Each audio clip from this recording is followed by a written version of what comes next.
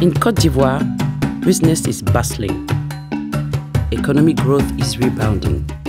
And signs of recovery are everywhere you look. A major bridge project is back on track after a 12 year hiatus. Across the lagoon, 4,000 participants from over 100 countries are gathering at the first investment conference in nearly 10 years.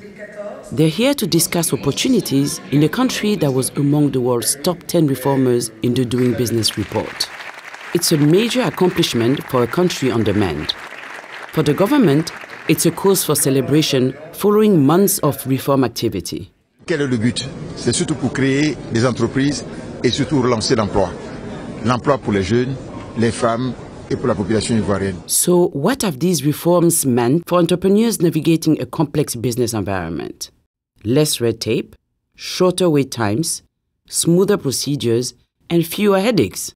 For entrepreneurs, registering a business was a burdensome process that took 32 days. Today, a one stop shop has brought that number down to 8. Aujourd'hui, quand euh, un créateur arrive pour créer son entreprise, il vient à nos bureaux, nous avons un front desk qui va, à partir d'un formulaire, euh, recueillir toutes les informations dont toutes les administrations ont besoin et qui va le mettre dans le circuit. Established with World Bank Group support, the One Stop Shop has also made starting a business more affordable and accessible. Le service est bien, l'accueil c'est bien, on nous reçoit, l'attente aussi n'est pas trop longue et puis ici, quand on rentre aussi, on a les informations qu'il faut. Reconstruction is a major part of any recovery process, but the path to getting a construction permit was plagued by long wait times and informality. Et ça faisait qu'il y avait beaucoup d'intermédiaires. Les intermédiaires, non, vraiment pour permettre à ce que tu aies le permis de construire très vite. Moi, je connais tel directeur, je, je peux t'aider, donne-moi temps, etc., etc. Doing business inspired reforms have cut down the number of days needed to obtain a building permit. As a result, the number of formal construction permits delivered in the capital city of Abidjan has more than doubled. More formal permits mean safer construction and better buildings. Dans le passé, ce qu'on entendait, c'est que pour avoir le permis de construire, c'était très très très difficile. Et ça prenait vraiment beaucoup de temps. Mais aujourd'hui, avec le guichet unique, ça se fait un peu plus rapidement que dans le passé.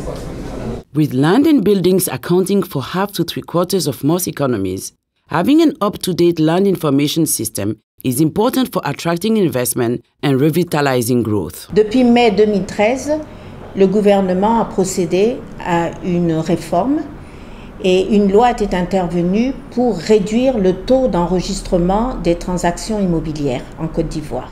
Alors, c'est une formalité qui est, qui est, simplifiée, comme je vous dis. On n'a on n'a pas deux interlocuteurs, mais un seul, et en plus, on a une seule formalité. More effective commercial dispute resolution is helping protect the economic rights of entrepreneurs. This commercial court is helping small business owners save time and money on dispute settlements. On pense que les investisseurs, les hommes des, hommes euh, des affaires euh, sont beaucoup plus rassurés par rapport à, à ce tribunal.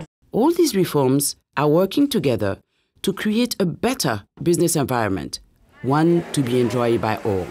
In an effort to promote inclusive growth, the World Bank Group supported an amendment to the family law that reduces the income tax rate for women with children.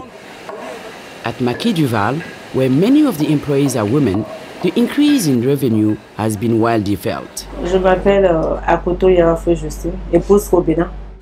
J'ai trois enfants. Je suis veuve et je suis en charge des enfants. Donc, l'augmentation m'a vraiment aidé par rapport à la prise en charge des enfants, la scolarité et tout ça. Many challenges remain, but rapid progress has restored confidence in Cote d'Ivoire's recovery and re-emergence as the gateway to West Africa.